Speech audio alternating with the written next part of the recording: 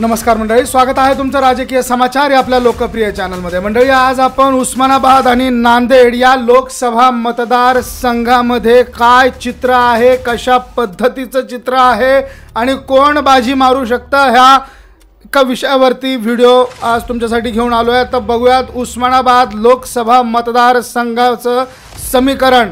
उस्मानाबाद लोकसभा मतदारसंघामध्ये भाऊसाहेब अंधाळकर हे उमेदवार आहेत वंचित बहुजन आघाडीकडनं.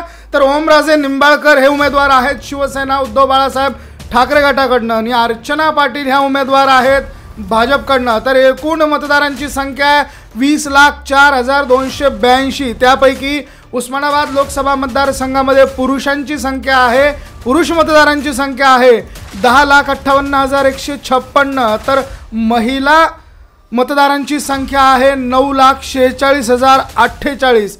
तर एकूण मतदान हे वीस लाख चार हजार दोनशे ब्याऐंशी आहे उस्मानाबाद धाराशिव लोकसभा मतदारसंघात.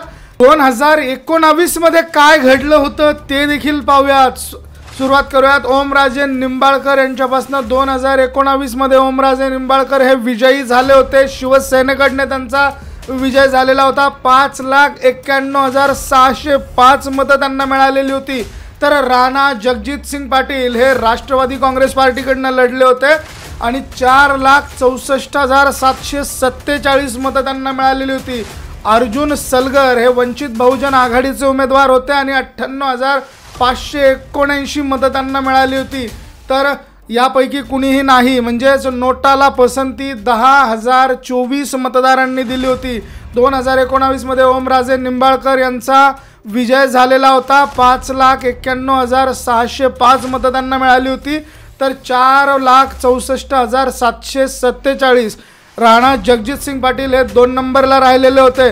तर यापूर्वीच्या ज्या निवडणुका झाल्या दोन हजार आठ माफ करा एकोणावीसशे अठ्ठ्याण्णवपासूनच्या ज्या निवडणुका झालेल्या आहेत त्या निवडणुकांचे निकाल काय राहिलेले आहेत कोणत्या पक्षाकडनं कोण इथे उमे विजयी झालेलं आहे ते देखील बघूयात. तर एकोणावीसशे अठ्ठ्याण्णवमध्ये अरविंद तुळशीराम कांबळे हे काँग्रेसकडनं विजयी झाले होते. दोन लाख ऐंशी हजार पाचशे ब्याण्णव मतं त्यांना मिळालेली होती. तर एकोणावीसशे नव्याण्णवमध्ये पुन्हा लगेचच एका वर्षानंतर निवडणूक लागलेली होती आणि शिवाजी विठ्ठलराव कांबळे हे शिवसेनेकडनं लढले होते आणि ते विजयी झालेले होते. त्यांना दोन लाख बावन्न हजार एकशे पस्तीस मतदान मिळालेलं होतं. तर दोन हजार चारमध्ये कल्पना रमेश नरहिरे शिवसेनेच्या ह्या उमेदवार होत्या. त्यांना दोन लाख चौऱ्याण्णव हजार चारशे छत्तीस मतदान मिळालेलं होतं.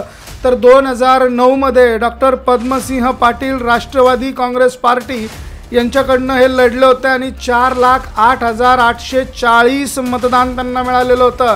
तर दोन हजार चौदामध्ये रवींद्र गायकवाड हे शिवसेनाकडनं लढले होते आणि सहा लाख सात हजार सहाशे नव्याण्णव मतं त्यांना मिळाली होती.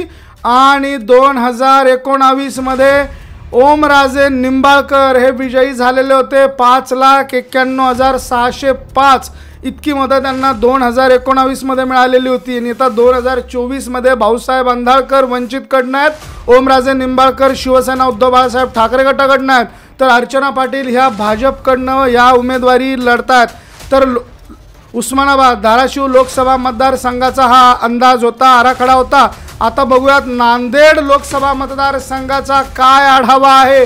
नांदेड लोकसभा मतदारसंघामध्ये एकूण मतदार अठरा लाख त्रेचाळीस हजार दोनशे चौवेचाळीस आहेत. त्यापैकी पुरुष मतदार हे नऊ लाख पन्नास हजार नऊशे शहात्तर आहेत. तर महिला मतदार हे नऊ लाख ब्याण्णव हजार नऊशे एकोणतीस आहेत. तर दोन हजार चोवीसमध्ये प्रतापराव चिखलीकर भाजपकडनं निवडणूक लढतायत. वसंत चव्हाण हे काँग्रेसकडनं निवडणूक न लढतायत. तर अविनाश भोसीकर हे वंचित बहुजन आघाडीकडनं निवडणूक लढतायत.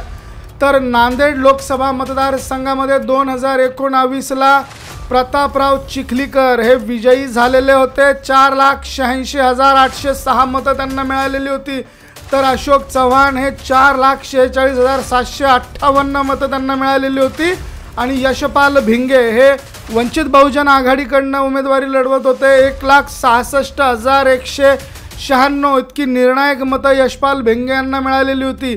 आता असं सांगितलं जात आहे की दोन हजार एकोणावीसमध्ये यशपाल भिंगे यांनी मतांचं कन्वर्जन केलं नसतं तर अशोक चव्हाण हे खासदार म्हणून निवडून आले असते. कारण साधारणतः चाळीस हजारांच्या फरकाने इथे प्रतापराव चिखलीकर हे ही निवडणूक जिंकलेले होते. चार लाख शहाऐंशी हजार आठशे सहा मतं त्यांना होती आणि चार लाख शेहेचाळीस हजार सहाशे अठ्ठावन्न मतं अशोक चव्हाण यांना होती. तर नोटा हे सहा हजार एकशे चौदा मतं मतं नोटाला मिळालेली होती. तर यापूर्वीच्या निवडणुकीमध्ये काय झालेलं आहे ते देखील बघूयात. एकोणीसशे अठ्ठ्याण्णवपासून एकोणीसशे अठ्ठ्याण्णवला भास्कर पाटील हे काँग्रेसकडनं ही निवडणूक लढवली होती. ते विजयी झाले होते. तीन लाख सदोतीस हजार सातशे चौवेचाळीस मतं त्यांना मिळालेली होती. तर दोन हजार नव्याण्णव माफ करा एकोणावीसशे नव्याण्णवमध्ये भास्कर पाटील हे काँग्रेसकडनं ही निवडणूक लढले होते. पुण्यांदा ते एकदा निवडून आले होते. एकाच वर्षात ही निवडणूक पार पडली होती. तर तीन लाख सत्तावीस हजार दोनशे त्र्याण्णव मतं त्यांना मिळालेली होती. दोन हजार चार साली दिगंबर पाटील हे भाजपकडनं निवडून आलेले होते आणि तीन लाख एकसष्ट हजार दोनशे ब्याऐंशी मतं त्यांना मिळालेली होती. तर दोन हजार नऊमध्ये भास्कर पाटील हे पुन्हा काँग्रेसकडनं निवडून आले होते आणि यावेळेस देखील तीन लाख शेहेचाळीस हजार चारशे मतं त्यांना मिळालेली होती. तर दोन हजार चौदामध्ये अशोक चव्हाण हे काँग्रेसकडनं निवडून आलेले होते. आणि चार लाख त्र्याण्णव हजार पंच्याहत्तर इतकी मतं त्यांना मिळालेली होती. तर प्रतापराव चिखलीकरांनी अशोक चव्हाणांना दोन हजार चौदाच्या नंतर दोन हजार एकोणावीसमध्ये पराजित केलं होतं. ते भाजपकडनं निवडणूक लढले होते आणि चार लाख शहाऐंशी हजार आठशे सहा मतं त्यांना मिळाली होती. अशोक चव्हाणांना चार लाख शेहेचाळीस हजार मतं मिळालेली होती. तर अशा पद्धतीनं नांदेड आणि धाराशिव उस्मानाबाद या दोन विधा लोकसभा मतदारसंघाचा हा आढावा आहे मंडळी. या निवडणुकांमध्ये या दोन्ही लोकसभा मतदारसंघामध्ये कोण विजयी होऊ शकेल हे तुम्ही आम्हाला कमेंटमध्ये अवश्य कळवा आणि हा व्हिडिओ तुम्हाला आवडला असेल तर शेअर जरूर करा आणि अशाच व्हिडिओसाठी बघत राहा राजकीय समाचार. धन्यवाद.